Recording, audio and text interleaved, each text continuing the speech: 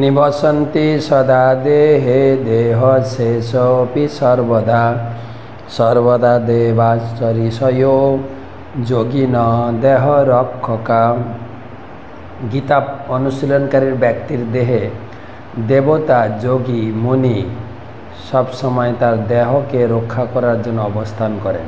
আজকের গীতা পাঠ ষষ্ঠ অধ্যায়, চতুর্বিংশতি শ্লোক, ধ্যান যোগ। सनिश्चयेन जोक्तव्य जोग अनि निर्विन्न चेतसा। सङ्कल्प प्रभवान् कामन् तक्ता सर्वान् शेषतः मने सेवैन्द्रियग्रामं विनियम्य समन्ततः। सनिश्चयेन जोक्तव्य जोगन्नि निर्विण्य चेतसा। सङ्कल्प प्रभवान् कामन् त्यक्त्या सर्वान अशेषतः मन सेवैन्द्रिय ग्राम विनियम्य समन्ततः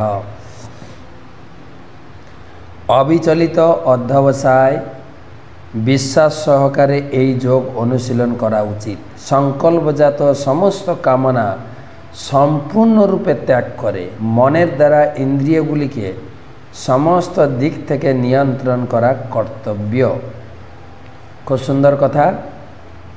আমার যে মন নিয়ন্ত্রণ এবং মন নিয়ন্ত্রণের ফলে ভক্তি যোগের মাধ্যমে এত আনন্দ লাভ করা যায়, তো ভগবান বলছেন সেটা করতে গেলে লাগবে নিশ্চয়েন খুব দৃঢ় সংকল্প লাগবে এবং ধৈর্য লাগবে।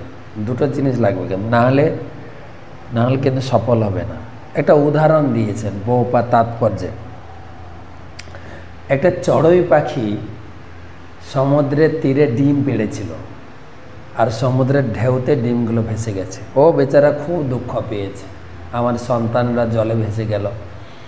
অনেক কান্নাকাটি করেছে সমুদ্র থেকে ডিমগুলো ফেরত দেওয়ার জন্য। আমি দিয়ে দাও, আমার অসহায়, আমার কেউ নেই। অনেক করার পরেও সমুদ্র কি ফেরত দেবে নাকি? সমুদ্র শোনে নেই। তখন সংকল্প করেছে। ঠিক আছে, আমার ডিম ফেরত দিলে না তো?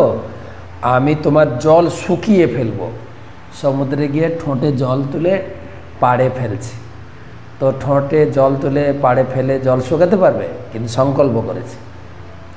আর বিশ্বাস, আর এইটা খবর হয়ে গেছে যে পাখি সংকল্প করেছে। তখন পাখিদের রাজা গরুর তার কানে এই খবর পৌঁছাতে সে বলছে, আমি সাহায্য করব তোমাকে।